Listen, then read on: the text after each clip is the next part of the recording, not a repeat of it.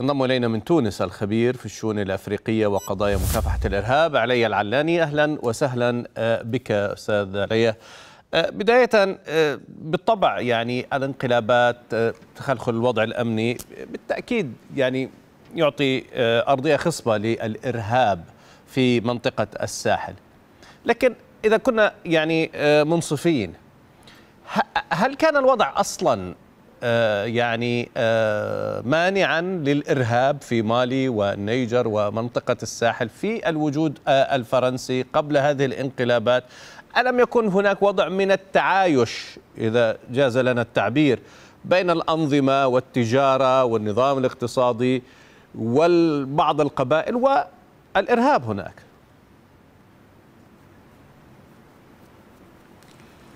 مساء الخير أستاذ الشريف وتحية لكم ولكل السادة المشاهدين.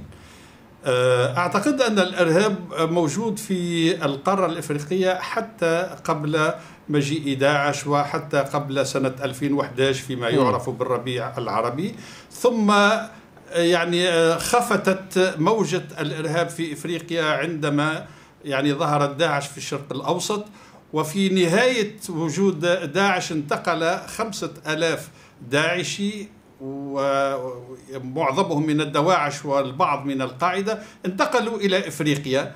ومنذ 2019 يعني يعني عندما أعلن الرئيس السابق ترامب عن نهاية داعش وهي يعني عملية غير صحيحة نجد أن يعني هذه التنظيمات الإرهابية تمركزت وتموقعت بشكل أكبر مما كان عليه قبل 2011 بطبيعة الحال يعني عندما تقول التقارير أن انسحاب القوات الأوروبية وخاصة الفرنسية من غرب إفريقيا ومن دول الساحل سيؤدي إلى ازدياد وتيرة الإرهاب هذا يعني في الحقيقة يعني يمكن أن يكون صحيحا ولكنه يعني توصيف نسبي. لماذا؟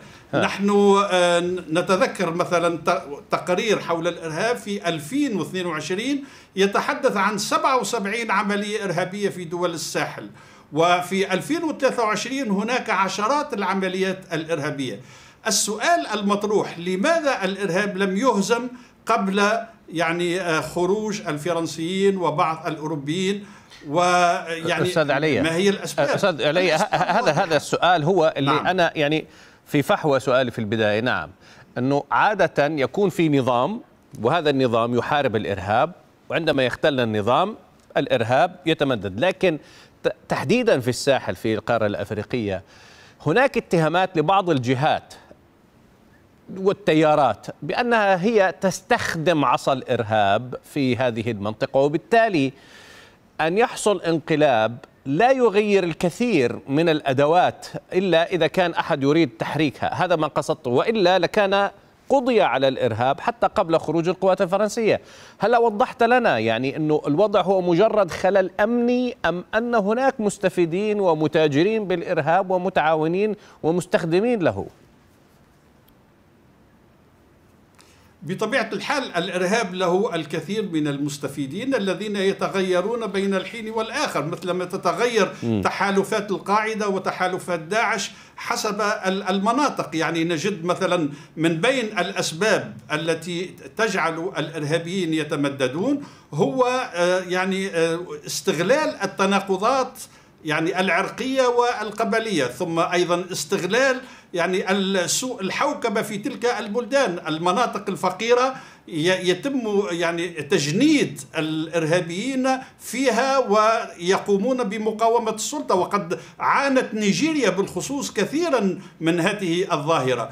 ولكن يعني أعتقد أن أهم طريقة لاحتواء الإرهاب وهو ما لم تقم به لا القوات يعني الأجنبية التي تمركزت بقواعدها في القارة الإفريقية ولا حتى الحكام الأفارقة الذين في معظمهم كانت سياستهم وحوكمتهم يعني ضعيفة إن لم نقل تكن منعدمة. يعني مثلا بالنسبة إلى يعني بلدان الساحل الإفريقي نجد الثروات طائلة جدا ونجد يعني مستوى الفقر مرتفع صحيح. جدا. جدا وآخرها في النيجر الذي يعوم على بحر كبير من اليورانيوم والطاقة والمعادن ونجد ثلث السكان نعم، يعيشون. تحت عتبه الفقر. اذا أه.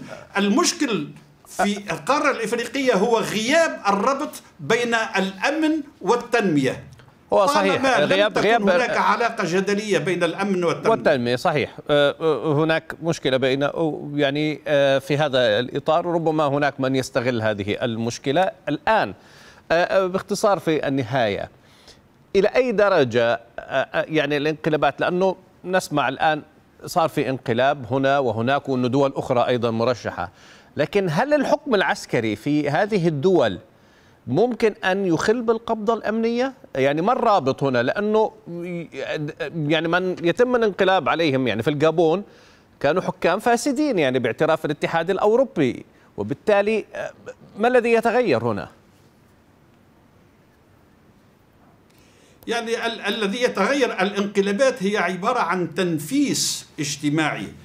نظرا لأن يعني في في حالة ال- ال- ال- الجابون يعني نجد أن الأمور وصلت أو التناقضات وصلت إلى أوجها وبالتالي كان من المفروض أن يرحل يعني الرئيس آه، يعني بونغو مثل ما وجدت حتى في مناطق إفري يعني إفريقية أخرى. يعني نجد في الجزائر في أواخر عهد بوتفليقه كانت الوضعية تنبئ بتحول يعني سياسي جديد. بالنسبة للانقلابات الإفريقية أعتقد أن جزءا منها يت- يتم توظيفه من طرف قوى أجنبية وجزء آخر ربما يحاول أن يصحح السياسات التي كان يقوم بها الحكام. وبالتالي أعتقد أن هناك بداية استفاقة لدى الشعوب الإفريقية بأن هذه القارة التي يعني يعيشون نعم. فيها وكأنهم غرباء أصبح هناك من يدافع عنهم حتى وإن كانوا من العسكريين ولو كان ذلك غير مقبول من الناحية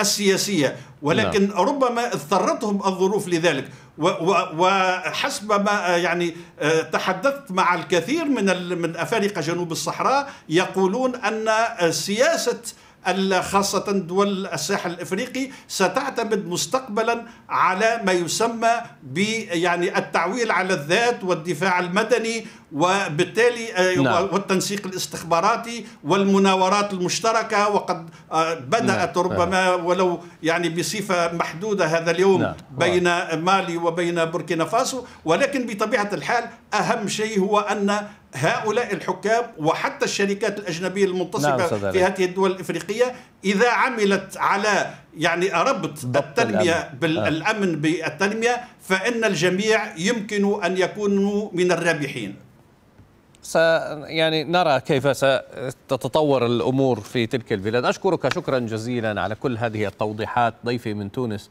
الخبير في الشؤون الأفريقية وقضايا مكافحة الإرهاب علي علاني.